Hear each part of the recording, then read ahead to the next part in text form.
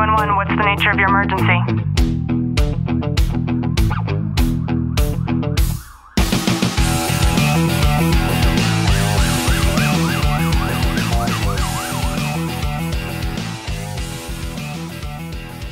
Welcome back to the Tactical Living Podcast. I'm your host, Ashlie Walton. And I'm your co host, Clint Walton. In today's episode, I thought we would talk about how difficult we tend to make lives for ourselves, life for ourselves, and how there are simple tricks to really make as few decisions as possible throughout our days. So just sit back, relax, and enjoy today's content. Clint and I just came upstairs and when we were downstairs, I just put a load of laundry into the wash and I put the laundry detergent in and it's actually a new laundry detergent that we're using. And I want to I want to preface this by saying we are not sponsored in any way, but this new laundry detergent it is 32 loads and it comes in like the smallest envelope possible. And it's these little tabs of laundry detergent that you just tear off and you put into the wash. And Clint and I were talking about how easy it is to use these and how well it cleans our clothes. And it got me thinking about how many times in our lives, especially in recent time, we've been trying to do simple things that make life just that much easier on us throughout our day to day. And it could be something as simple as when we do the dishes, for example, Clint used to get like everything that you can put into the dishwasher in terms of cleaning your dishes. He wanted it all. And so I got to this point where we used to use the little, the little tabs. I don't know what you call those, like the little packs that you put in. And then we would also use the liquid detergent inside of the machine.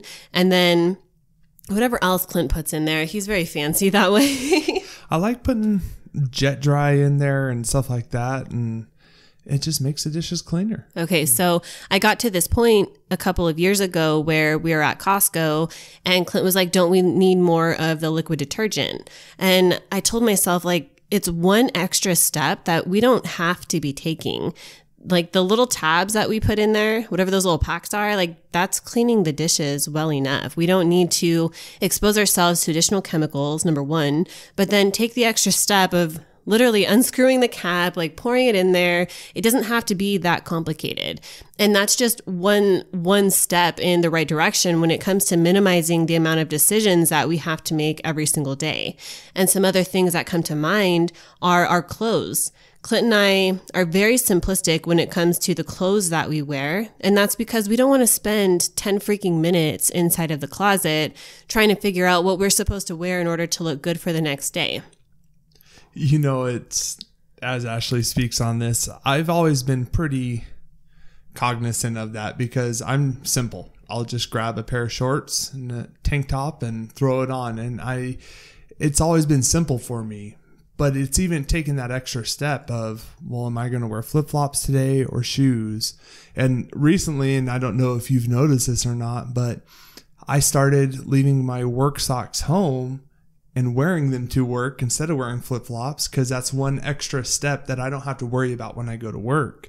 And it, it sounds so like just kind of like petty, right? Like petty, but what that really comes down to is and and I don't remember the book, but I'm sure you're going to be able to recall that of minimizing the decisions we have to make on a daily basis because over time, you think about it in the morning time, how many decisions do you make? Whether it's, okay, do I need to brush my teeth? Or whether it shouldn't be a decision. well, it is for me. Maybe what what toothpaste to use and things like that, and very much so because Clint and I recently actually went through our cabinet for all of our coffee mugs. It got to the point to where it was just overwhelming how many damn coffee mugs we had, and sure we buy some randomly, maybe I don't even think we really purchase many of them on our own, but coffee mugs just tends to be something that, especially around the holidays, people gift you. Well, and that is still a decision that I make every morning for you because they're special mugs that you make. So I like when I bring you your coffee, I like having different mugs that I know that you like in the morning. But that's an important decision for me to make, even though it's so petty because you like your clear glass ones where you can see your coffee through it. And if we have it available, I try to give that one to you. And very rightfully so. We actually went to a dollar store. Clint doesn't like to take me to the dollar store for some reason. But when we went there, I saw I only had one other clear coffee mug and my mom had given it to me. And there's just something about like being able to see what it is that you're nourishing your body with that I really enjoy. I value that.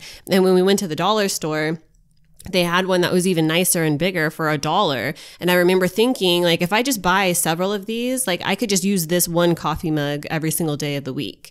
And that's another decision that I won't have to make. And if you think about going back to the same concept that Clint was talking about, all of the decisions that we're forced to make before we even leave the front door every single day, if we can limit that to as few as possible, then we have a clearer mind. And it's not like we've already done all of this mental work before we even start work in general. And it opens you up to actually making those decisions later on in the day.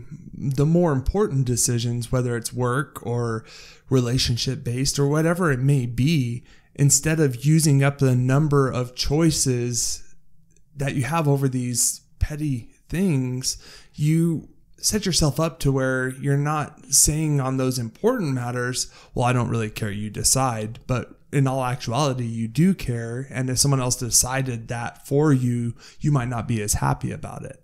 For sure, especially if you're a high performing individual or you work in a profession where you're faced with constant decision making throughout the day.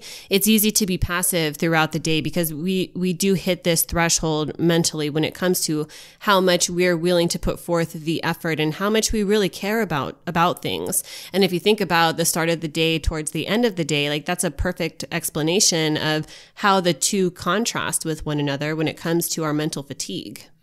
Yeah, and you go as you said the high performance people who are out there and and the story that really sticks out in my mind is Steve Jobs.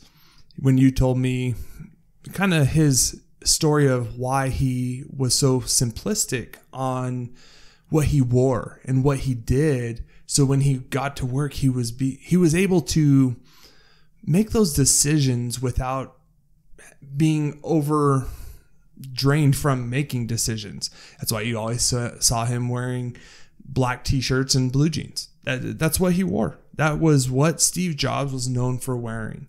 And it was so simple and you you research other people who are high performing and you look in their closets, they don't have choice after choice of different clothes to wear. They have their normal everyday clothes and then their dress attire, of course but it's so simple where you're not having to decide. You don't have to pick from do I want a white t-shirt? Do I want this design? Whatever it may be, it's very simply put down to that. For sure. And I think that it's important for us to identify the amount of creative energy that we're actually exhausting on such minute decisions every single day. And by, by really sitting there as you, as you listen to this, if you can think of things in your life that you can limit in order to maintain a natural flow and to not have to think so hard about things that don't really matter, I think it can really change the trajectory of your day. I know one thing Clint and I struggled with a great deal was our food choices. And so we became very specific on a number of foods that we routinely turn to, and then also gravitating towards snacks that are on hand readily. And for us, it's like a particular protein shake, right? Mm-hmm. And when we go to the grocery store, even in knowing that there are certain things that we constantly consume, we don't have to spend hours going through the grocery store because we already know what it is that we're going to be buying. Yeah, and in looking at that, and I had never even thought about it, it's we have almost a routine now when we go to the store of what we hit instead of going up and down every aisle when wasting time and, and like we've talked about in previous episodes of how time is so important where it's such a mundane task of having to go to the grocery store. We dread it. But now it's just so simple. We've cut our time probably in half of what we spend at the actual grocery store.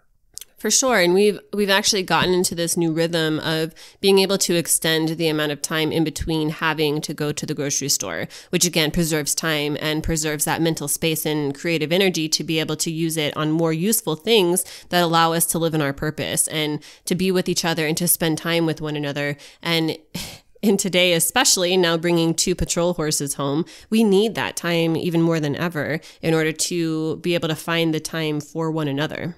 Absolutely. And, and not only for one another, but for our other animals as well. And, you know, as Ashlie spoke about in the past, is after bringing the horses home, there's a lot of work involved to it to setting up the corrals and putting the siding on and just getting everything ready and safe for them. Our three little Pomeranians, they're sitting on our back porch or back window just staring at us like, why aren't you guys in here with us? And they're so used to us just being present with them, whether we're petting them or giving them attention or not. We just weren't with them at that time. Yeah.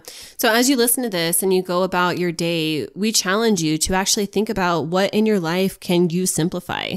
What in your life are you exhausting too much mental energy and time on that really doesn't make a difference in the long run? And as you think about that, if if you are brave enough to reach out to Clint and I, we would love to hear what your response is. And if you're not already a member, we would be so honored to have you in our police, fire, military, and Facebook group. There's a link down below, or you can just search us out on Facebook. We'll talk to you next time.